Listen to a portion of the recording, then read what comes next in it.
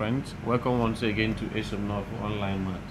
In this lesson, we shall solve this problem before us. Do not forget that this lesson is proudly powered by your lesson app. So we have 120 multiplied by 8 to the power of x is equal to 960, alright? And we need to find the value of x.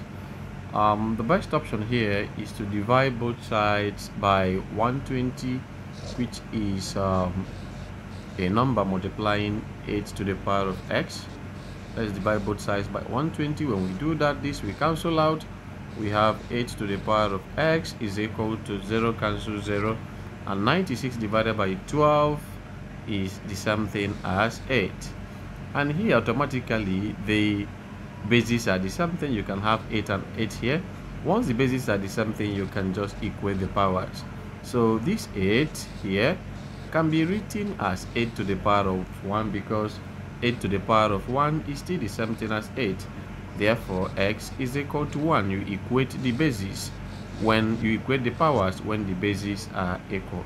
Do not forget that this video is proudly powered by your lesson app.